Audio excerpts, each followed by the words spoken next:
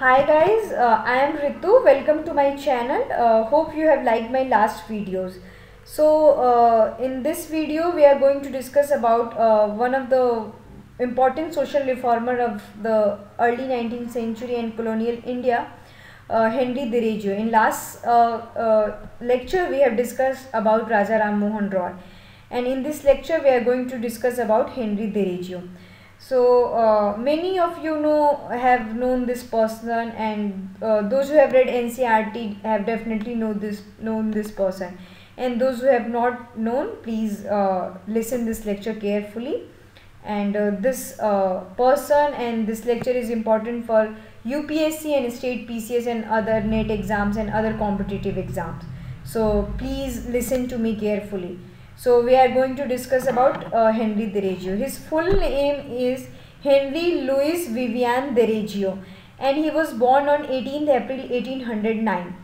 So uh, uh, you will say that why I am telling his date of birth. His date of birth is not much important and you need to know any everything. But yeah, you should know that in which century he was born, whether it was early 19th or mid or late or 20th century because uh, it would be easy for you to write in an answer and have a better picture of any topic. And he was an eurasian uh, of portuguese origin and an indian poet and an educator. At the age of 18 he posted uh, as lecturer of english and history at hindu college in bengal. And he taught there for 5 years. And uh, uh at the age of 22 he uh, died due to cholera uh, but at this young age he tried to uh, create and uh, bring changes and reform in Indian society. So uh, his contribution should not be forgotten. And uh, at the age of 70 he start he have become philosopher and social thinker. That's why at very young age at the age of 18 he have become lecturer. So coming to our next slide.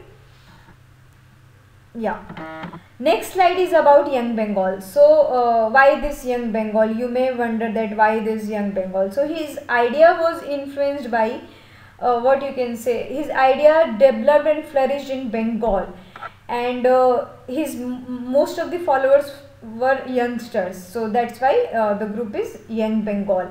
And uh, his basic ideas of reformism was influenced by social movement of 19th century and uh, at that time it, it was known as Bengal uh, because earlier Bengal was full of social evils like uh, the practices like sati, uh, dowry, child marriages, uh, atrocities on women, so many caste, caste rigidity, so many evil system was present so uh, at the uh, you know during this period bengal uh, started thinking few individuals from bengal started thinking about this problem.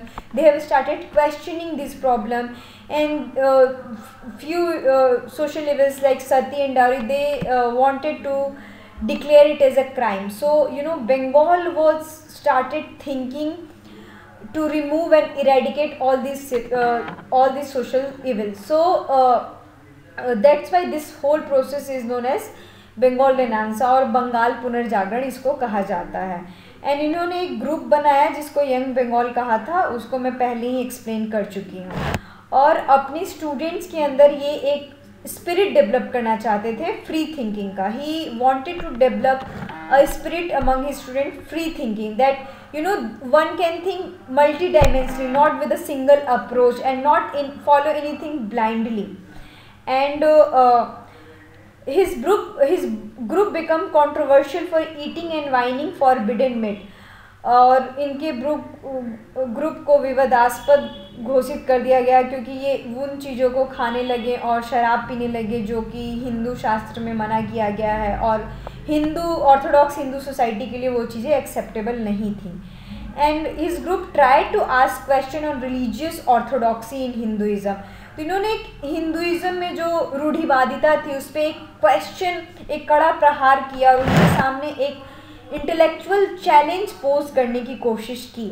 And in 1828 he motivated his student to form a literary and debating club called academic association so academic association के माध्यम से ये अपने student में वाद विवाद का एक कल्चर डेवलप करना चाहते थे, ताकि वो एक टॉपिक को हर तरह से सोचे और समझे और उसको हर डायमेंशन डायमेंशन से जांचे और परखें। And eighteen thirty eight they form the society his group form the society name society for the acquisition of general knowledge where they discuss about importance of western science and modern age because at that time British uh, bought uh, Western science and modern age, and it, their uh, idea was full of rationality, and uh, they they have this opportunity to critique things in uh, critique and to uh, not to just utilize the things just to critique things. And with with these group academic association and acquisition of general knowledge he tried to remove caste taboos promote widow remarriages ban on child marriages and polygamy polygamy में जो लोग एक इंसान बहुत सारे स्त्रियों से और एक स्त्री बहुत सारे पुरुषों से बट जनरली ऐसा देखा जाता था कि पुरुष बहुत सारी स्त्रियों से शादी कर लेते थे। उस तरह से क्या होता था कि फीमेल के ऊपर अत्याचार होता था। तो इन सारी चीज़ों को वो हटाना चाहते थे। बट इनके आइडियाज़ को ज़्यादा एक्सेप्टेंस नहीं मिला। His ideas doesn't have much acceptance like Raja Ram Mohan Roy तो बिकॉज़ हिज आइडिया वो टर्म्ड एज रेडिकल कट्टर कट्टर बोल दिया गया इनके आइडिया को जस्ट बिकॉज़ इन्होंने बहुत सारी फॉर्मिडन चीज़ को करने की कोशिश की।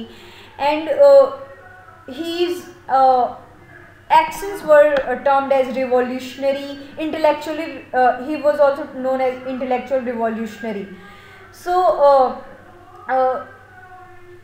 because you know he declare himself as atheist and in indian society if you want to reach out the people religion was the main source. But he condemned the religious views and uh, ideas. So uh, his idea didn't get much success but we cannot undermine his contribution because among students among youngsters he developed free thinking. And uh, you know a culture of debate discuss critique analyze things not to follow anything blindly so uh, academically he tried to reform india. So uh, his contribution is very much important and hope you have liked my channel and uh, uh this lecture as well. This lecture must be useful for you. Don't uh, mug up all these slides. I have given just two slides and mostly focus on my explanation. Listen my uh, conversation and lecture very carefully because अगर आप इसको ध्यानपूर्वक सुनेंगे और इसको अच्छी तरह से समझ जाएँगे तो आप फ्यूचर में कोई भी आंसर देंगे तो उसमें लिखने में आपको बहुत आसानी होगी। और ये, जो भी स्लाइड्स है, इसमें छोटे छोटे जैसे eighteen twenty eight eighteen thirty eight में उन्होंने कौन से ग्रुप बनाया, उनके ग्रुप को क्या कहा जाता था, इस टाइप के question prelims point of view से बहुत इंपॉर्टेंट हैं। So that's why I have given you this slide and hope uh, this lecture is useful for you. Thank you so much. Please like, subscribe and share and in comments if you have any problem. Thank you.